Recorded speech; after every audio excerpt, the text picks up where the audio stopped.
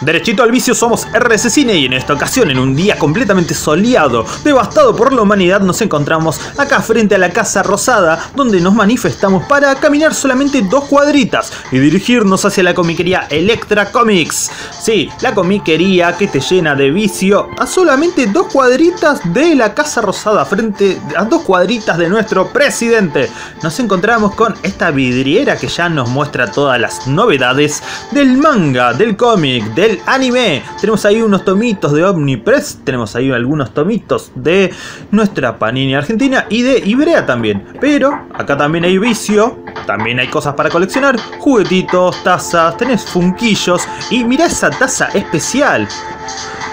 Pero bueno, Además de cositas de Harry Potter, vamos a entrar dentro del local para ver cuánta merca tienen adentro. Porque lo que distingue a Electra Comics de otras comiquerías es que tienen muchos tomos en tapas duras de colecciones que antes habían en los kioscos de diarios y que hoy en día te cuesta coleccionarla. ¿Te encuentra encontrar ese tomito que te falta? Capaz la encontrás acá.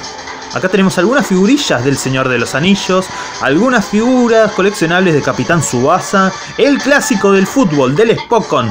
Y tenés, bueno, todas las novedades las tenés acá a primera vista, porque obviamente están entrando pocas personas al local por el tema del COVID, pero se están haciendo envíos a todo el país.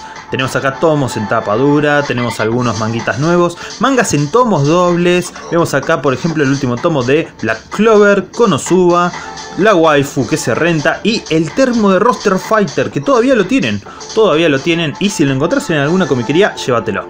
Ahí tenemos, por ejemplo, algunos tomitos tapa dura de Star Wars, no sé si lo vieron, pero pasamos directamente a ver lo que es esta parte de puro mangas. Me parece que de este lado solamente encontramos todo de Ibrea, todo de Ibrea Argentina. Tenemos ahí algunas cositas de Sailor Moon, Koe no Katachi me parece que estaba por ahí, ahí tenemos algo de Rasset. También vemos por acá algo de Fairy... No, bueno, algo no. Fairy Tail tenés todos. Vagabond, la edición española. Ahí tenemos Prison School, edición española. Eh, Madoka Mágica, Triage X. Todavía está la española. Code está por ahí. Mirá qué buen póster de Gon. Mirá qué buen póster de My Hero Academia. A ver. Ah, un poco de mangas románticos. Tenés ahí también oh, román el romance Bellet puro, Naruto, Naruto y Sasuke lo tenés ahí. También tenemos a ver qué podemos encontrar. Isaac, Isaac no lo vi. A ver, tenés a la Remina, también lo tenés a la Remina.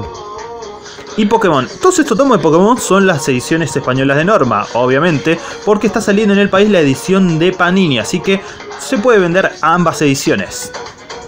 También están los 7 pecadillos, todavía quedaron algunos tomillos. A ver qué más. Nana. Nana que vieron que salió el último tomo hace poco. Así que quien quiera empezarla, la puede empezar ahora. Y tenés este stand, este stand de Panini Comics que lo hemos visto en varias comiquerías a lo largo de los videos que hemos subido en nuestro canal de YouTube. Recuerden, RDS Cine. Tenés acá este stand con las cositas de Panini. Tenés ahí a Yuna, tenés la sextelogía, se diría, no lo sé. Las 7 tomos de Love Hina, Nejima que todavía continúa. Y en este lado tenemos, bueno, vemos de nuevo las figurillas que les quedaron. Vemos los tomos tapaduras, ahí tenés varios de Batman del universo DC. Tenés El Guardián de la Puerta, está bastante bueno. Punto de fuga también. Desatado esa de Batman. Va, Superman es muy buena. Y otros tomos en tapaduras para, a ver, Jack Kirby y Cuarto Mundo es recomendadísimo. Tenés ahí algunos de los tapaduras de los villanos, los villanos principales del universo de DC. Y más abajo tenés algunos clásicos, pero todo este lado ahora vamos a ver cómics. Cómics, cómics, cómics en toda esta pared. En toda esta pared tenés algunas de Star Wars.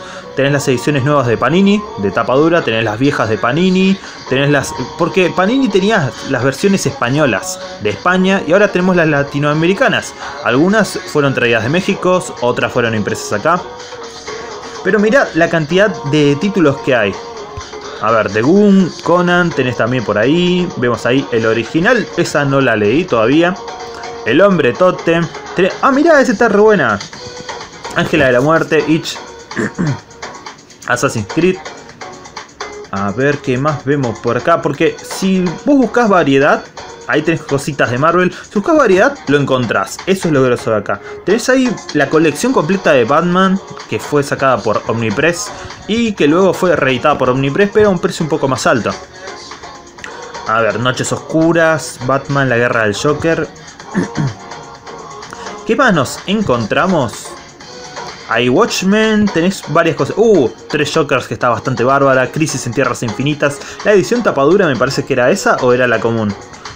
Porque Omnipress se dio el lujito de publicar tapas duras muy bien hechas, muy copadas, números limitados, que muy pocos coleccionistas los están teniendo ahora en su poder. Ahí tenés Black Hammer en tapa dura, tenés algo de StarCraft, Superboy, Superman. La verdad es que Superboy, lo último que salió de Superboy acá de, de no sé si se vendió bastante bien, no creo, porque fue como un spin-off, más que nada. Bueno, ahí tenés algunas figurillas de DC Comics, ahí tenés los cascos de Star Wars, que quedaron algunos, tenés a, Citripio, algunas figurillas de Naruto, jajaja, la abuela Chillo me parece que era esa, y algunas cositas quedaron de Marvel de, eh, Omnipress. Pero poco a poco ya van a ver que Panini va a estar llenando esos stands. Panini va a estar llenando esos stands con nuevas cositas de Marvel. En la última tanda como que estuvieron sacando un montón de eventos, así de one shots, de recopilatorios tapadura. Ahí tenés Spirenela o Spinneret, ahí tenés Spinneret, de un par de dibujantes argentinos bastante copados. Y acá tenés algunos libritos, algunos tomos, por ejemplo, uff, el último libro de Harry Potter, el de la maldición del pibe, es malísima. Es malísima. Pero bueno, ahí tenés algo de Zelda. También hay artbooks. Ojo, hay artbooks. Y mira estos. Estos lapiceros de Funcos están bastante buenos, son como mini Funcos más chiquititos. O si interesa acá las figuras de Marvel, que está buenísimo. El primer Iron Man, el Mark I, tenés ahí a Iceman. Quedaron algunas figuras de Marvel también acá para coleccionar. Tenés ahí a. A ver. Aquí nos encontramos. Spider-Man, que es el número uno de esta colección. Tenías Spider-Man. Tenés ahí a Ghost Rider. Y mira, hay cajitas con ofertas. Bueno, no, son ofertas, ofertas, viste, ah, pero son ofertas que, ¿por qué decía eso? Son, son cajitas que quedaron algunos títulos así medio descontinuados, pero que tienen muy buena historia. O sea, anda y fíjate, sí o sí, fíjate estas cajas, por favor te encontrás cada maravilla, te sorprendes. Y ahí tenemos algunos pines, ahí unos anillos de Bleach, algunas cartitas del Fortnite para los pibes y mira, esto es lo último, lo último que salió de Panini, tenés X-Men, Deadpool, La Guerra de los Reinos, una nueva reedición compilatoria del Eternauta, está buenísimo, algo de Alan Mayer, tenés ahí, Harley Quinn también salía. Y vamos a ver acá los manguitas que nos quedaron por ver. Esas últimas ediciones de Senseiya y Yu son una barbaridad. Ahí tenemos lo último de Haikyuu, los primeros dos tomillos, Capitán Subasa, Shaman King, tomos dobles, Base Stars, tomos dobles, Chainsaw Man que la está rompiendo, Hunter Hunter que es un manga imposible de no leer. Komi-san, no sabemos si se está vendiendo bien, pero es un buen tomo doble que lo tenés que aprovechar. Y mucho de Deadly, de Seven Deadly Sins, junto con My Academia. My Hero Academia tiene un montón de tomos, la verdad es que la estuvo vendiendo bastante bien, al igual que Demon Slayers. Ahí tenés el one shot de Koshetaru, a ver, Born Witch, tenés ahí el tomo 1. Girlfriend, el alquiler de novias o somos quintillizas, un poco de comedia con Shaco, Dragon Ball Super, tenemos Dragon Ball Color. Y abajo hay algo de One Piece, One Piece de Ibrea, One Piece de Ibrea que todavía se está vendiendo algo de Goblin Slayer, tenés ahí Dead Note, la edición de librería de Dead Note es bastante recomendada. Y abajo algo de Junji tenés la invasión de los Mon, tenés a, a ver, tapas duras de Salvat, que les decía que acá encontrabas de todo, es la colección de Spider-Man también en tapadura. Porque últimamente como que no se estuvieron viendo más, ya se terminaron las colecciones, acá tenés los tomos que te faltan. La colección roja está por ejemplo especializada en los personajes, en los personajes que tienen sus miniseries o tienen sus propios arcos en las series principales. Ahí tenés los tomos de Trinidad que están buenísimos, son tres o cuatro tomos me parece. Y vamos a ver acá, acá son tapas duras españolas, 100% españolas, ahí tenés la colección de oro de Panini, o sea, te vas a encontrar cosas del pasado, cosas nuevitas muy copadas acá. A ver, ahí tenemos varios de la colección de Spider-Man en tapa dura. Ahí tenemos algunos clasiquetes del asombroso Spider-Man, Guardianes de la Galaxia, algo más o menos nuevo.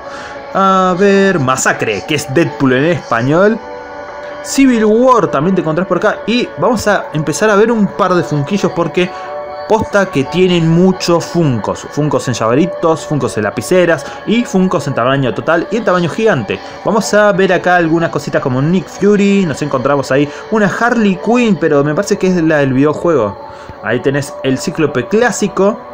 Tenés algunas ediciones limitadas o ediciones especiales. Mirá ese Iron Man de Avengers Assemble y algunas cositas de Harry Potter. Pero bueno, acá ya empezamos a ver la merca directamente. Ese look Skywalker dorado es recoleccionable, lo tenés que tener. Ese Boba Fett también lo tenés que tener.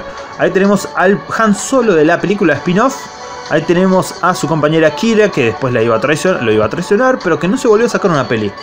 New Girl, tenés algunos personajes, también tenés algunos personajes, por ejemplo, de el príncipe, el príncipe de África, me parece que era la película de, uy Dios, se me, se me hizo una laguna, pero la película de, ay, no me sale el nombre. Bueno, ahí tenés algunas cositas de Pikachu. Pikachu es infaltable en estas colecciones.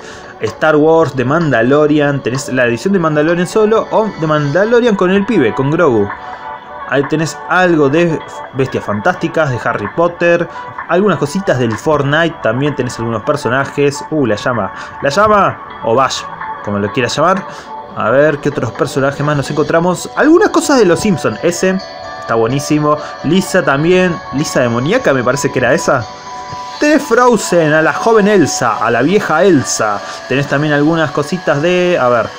De Disney tenés, por ejemplo, Los Increíbles 2. Tenés ahí algunos. ¿Qué peli más mala? Dios. Bueno, un Deadpool. Un Deadpool que. Deadpool siempre aparece en los Funcos con diferentes poses, con diferentes cosas encima. Siempre tenés un Funko diferente de Deadpool. Y mirá lo que es ese All Might. Ese All Might de My Academia. Está buenísimo. Abajo tenés Saitama. Algo de Dragon Ball. Tenés a Freezer. Tenés a Piccolo meditando. Tenés a Piccolo todo verde. Tenés a Bulma con un cambio de pelo. El Trunks, que es el mejor. Tenés algunos Super Saiyajin de la saga Super. Tenés ahí, a ver, algo del... Ta, que nos vemos acá, el Overwatch, tenés. Fairy Tail también vemos más abajo, el Fallout. Men in Black, por favor. Bueno, algo que tiene de especial la casa de papel, algo que tiene especial los Funcos es que tenés variedad, tenés licencia inmediata en un producto bastante chiquito, bastante sencillito. No es como para estar quejándose y comparando de, ay Dios, te podrías haber comprado una figura más poderosa. Sí, dale, garpa unos 20 mil pesos más y ahí comprate una figura poderosa. Si lo vas a comparar con una figura chiquitita, no vale comparar. Aguante los Funcos, aguante las licencias que tienen y aguante coleccionarlos. El que quiera coleccionarlos, que lo disfrute. Eso sí, siempre decimos, con el precio justo. Nunca pagues de más un producto. Y acá en Electra Comics te encontrás todo, todo, todo, todo al precio justo. Tenés ahí cositas de Dago en recopilatorios en tapa dura. Tenés acá, por ejemplo, a ver, unos artbooks muy copados. Gente de RC Cine, les mando un saludo grande desde Electra Comics. Eh, nuestros horarios de atención son de 10 a 18 horas. Nos pueden encontrar en Instagram y en Facebook con Electra Comics y en nuestra página web www.electracomics.com.ar. Muchas y luego del saludo de nuestro amigo de Electra Comics, nos despedimos y nos vemos en un nuevo video, con más comiquerías o con más reseñas.